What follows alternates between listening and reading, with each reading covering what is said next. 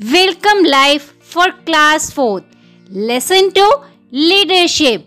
And in today's online class, through and one act play, we shall know that how you can lead your younger brother or sister. So let us start by this one act play.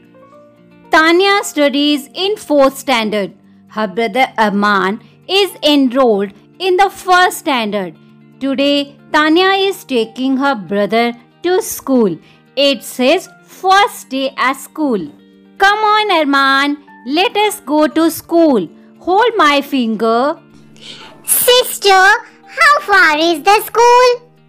Brother, it's little far away.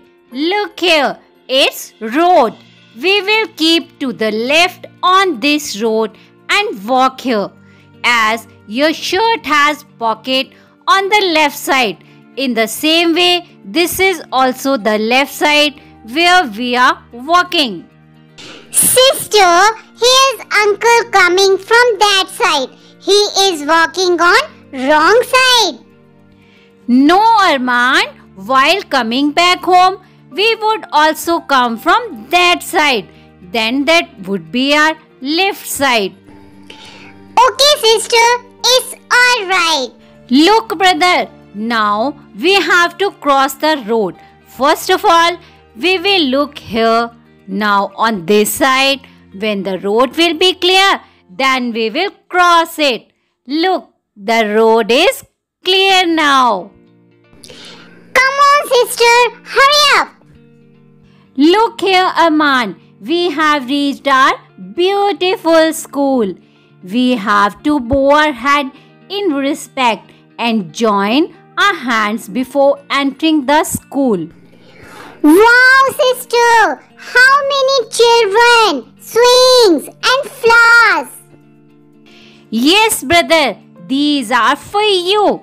Look at this beautiful room of your first standard. We shall keep your bag here. You will study here now onwards. Then you will play. Come on, Aman. The bell has rung. There will be morning assembly now.